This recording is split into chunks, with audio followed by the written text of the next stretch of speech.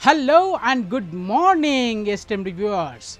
I am Maruti Paidikondala, honored to serve as Prime 9 TV's global correspondent, representing a trusted voice across both Telugu states. I extend my heartfelt appreciation to the leadership of Prime 9 for their unwavering support.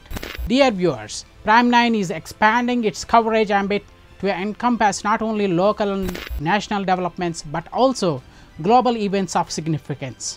We encourage you to share your stories, cultural celebrations, and news through our WhatsApp at plus four six seven six four three two nine four three nine. Your contributions empower us to reflect diverse perspectives on our platform.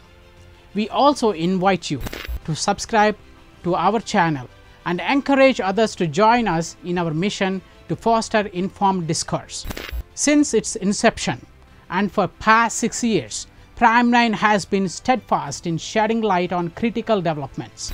During recent Andhra Pradesh State Assembly elections, our coverage highlighted governance challenges, misuse of power, menace by the previous administration of the state of Andhra Pradesh, and electoral dynamics. Without bias, this commitment to impartial reporting resonates with our viewers, empowering them with the knowledge to make informed decisions. Your steadfast support continues to drive our dedication at Prime 9. With warm regards, yours, Maruti Paidikondala. Jai Hind, Jai Bharat.